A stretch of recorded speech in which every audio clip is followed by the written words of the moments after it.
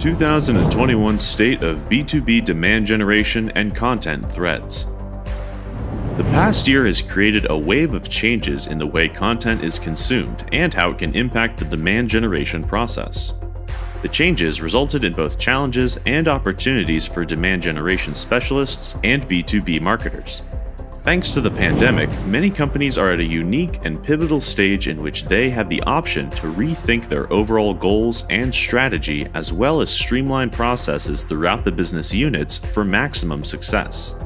This is especially true in how companies approach content marketing. Rather than just creating informative content, a good strategy is one in where the intent of the reader is taken into consideration. In Bython Media's 2021 State of B2B Demand Generation and Content Trends report, we found a few major considerations for marketers to think about.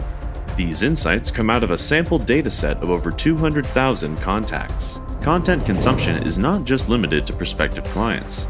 Managers and directors are also looking for content to figure out the best practices to navigate the challenges of a new normal. In fact, 38% of managers consumed content in the last half of 2020.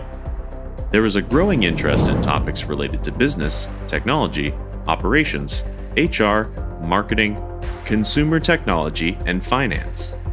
Cloud technology and artificial intelligence were the themes that piqued the most interest in the latter half of 2020. Rather than make assumptions about what your target audience wants to read, review the results of this report to find out what digital content syndication can offer and how it can position your company to engage current customers and pull new customers through the sales pipeline.